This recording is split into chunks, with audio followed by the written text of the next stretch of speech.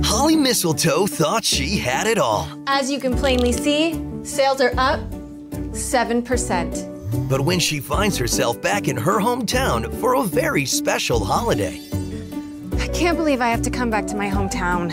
It's so provincial. Seamus? Seamus O'Shamrock? I didn't know you still lived here. You own and operate a small, charming coffee and pastry shop? Only when I'm not raising horses. she'll discover just how much her life was missing. Has anyone ever told you you're a really good baker? Has anyone ever told you you're more adorable than the custom emotes you can use in Critical Role's professionally moderated chat with a Twitch subscription?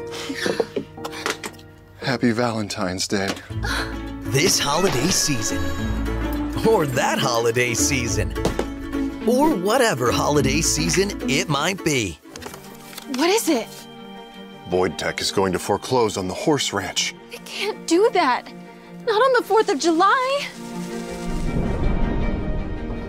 With the proceeds from our wholesome Halloween haunted house, we can raise enough money to save the horse ranch from your greedy company, Mr. Fatstacks. Damn you, Mistletoe. If it hadn't been for your big city business savvy, I would have been able to fool those small town provincial bumpkins. We may be provincial, but we have values. Like watching episodes of Critical Role before they go on YouTube with a Twitch subscription. Fiddle faddle. Stand up oh, and celebrate. eat my feelings. Ugh. Make every day a holiday Oh, okay. Boop.